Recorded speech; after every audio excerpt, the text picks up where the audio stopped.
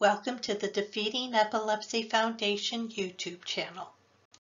In this presentation, we will discuss what Doose syndrome is, its causes, genetic mutations, signs and symptoms, diagnosis, and treatment options. Make sure to like our videos and subscribe to our YouTube channel. Click on the bell to be notified of future videos. Please click on our donate link in the description section below and donate today. Your donation helps us make a difference for those battling epilepsy. We appreciate your support. Doose syndrome is a very rare type of epilepsy that affects children during early childhood. It was initially known as myoclonic atonic epilepsy and myoclonic atonic epilepsy. Back in 1989, the International League Against Epilepsy initially classified it as symptomatic generalized epilepsy. Considering it to be a much generalized form of epilepsy, managing it with medication seems difficult. When a child experiences myoclonic atonic seizures, the child could go limp. Children with Doose syndrome could have other types of seizures as well, namely tonic-clonic seizures, absent seizures, atonic seizures, non-convulsive status epilepticus.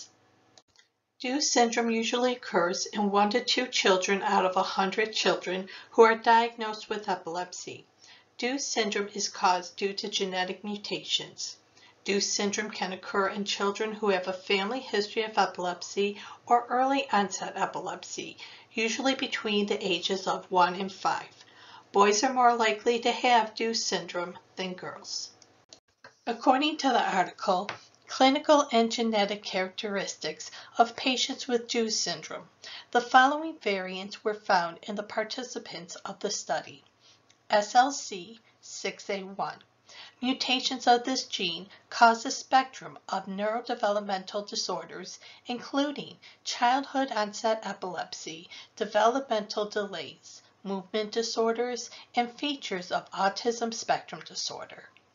HNR NPU. Mutations of this gene result in developmental delay and intellectual disability, usually moderate to severe, with speech-language delay and or absent speech. SCN1A. Mutations of this gene result in generalized epilepsy, febrile seizures, and epileptic encephalopathy. STS. Mutations of this gene result in X-linked ichthyosis. Children with Doose syndrome can have one or hundreds of seizures per day. More often it happens during the daytime and children who have Doose syndrome need constant supervision. Other health issues can develop which can result in difficulty in learning and developmental delays. Trouble with coordination, difficulty expressing themselves, and unclear speech can occur in children with Doose syndrome. Doose syndrome can have long-term effects on someone's health. Examples are physical injuries, breathing difficulties, and other situations that can require immediate medical attention. Usually, a child exhibiting symptoms of Doose syndrome would have a family history associated with epilepsy. Doose syndrome can be diagnosed using diagnostic test results as the children would usually have a normal physical examination. Electroencephalogram or EEG. An EEG test usually lasts for an hour and is a non-invasive brainwave test used to measure the electrical activity of the child's brain in real time.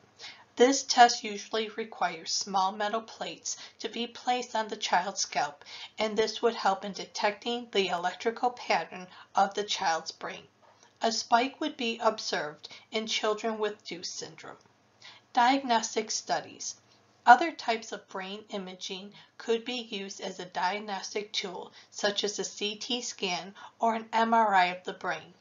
Other medical tests would include blood work and urine analysis, and if advised by the doctor, a lumbar puncture would be required to rule out any other causes of epilepsy.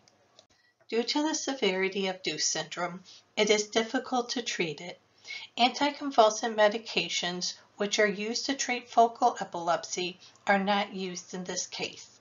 Some of the commonly used anti-epileptic drugs include Depakote, Lamictal, and Keppra. In addition to this, there are a few other treatment options, including steroid medications like ACTH, prednisone, or dexamethasone. Steroids are used to decrease inflammation and could affect hormonal levels, and it is suggested that improvements are related to these actions.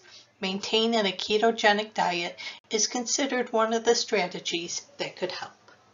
In conclusion, Doose syndrome is a very rare type of epilepsy that affects children during early childhood. It was initially known as myoclonic astatic epilepsy and myoclonic atonic epilepsy. Children with Doose syndrome can have multiple seizures a day, affecting learning and developmental milestones. Doose syndrome is difficult to treat, but options such as anticonvulsant medication, steroid medications, and the keto diet can help.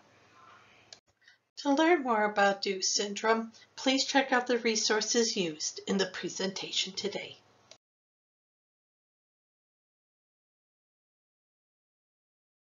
Please like and subscribe to our YouTube channel and follow us on our social media pages.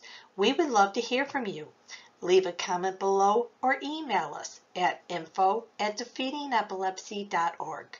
Thank you for your support and together we will defeat epilepsy. Check out our other great videos and subscribe today. You have the power to defeat epilepsy.